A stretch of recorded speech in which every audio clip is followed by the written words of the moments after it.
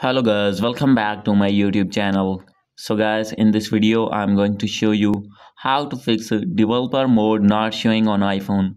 So guys if you are using any iphone and have updated version of ios 17 and not showing developer mode i'll help you how to fix this problem. So let's get started without wasting any time.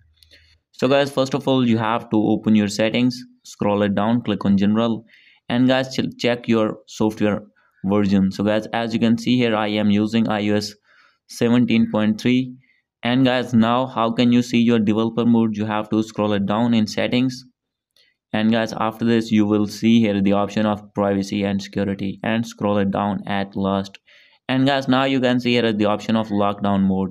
So guys from developer to lockdown mode has been changed in ios 17 so guys if you are using oldest version means ios 14 15 or 16 then guys you will see here developer mode. And if you are using ios 17 or plus you will see here the option that is lockdown mode. So guys now in ios 17 named has been changed now. So guys you can easily turn it on.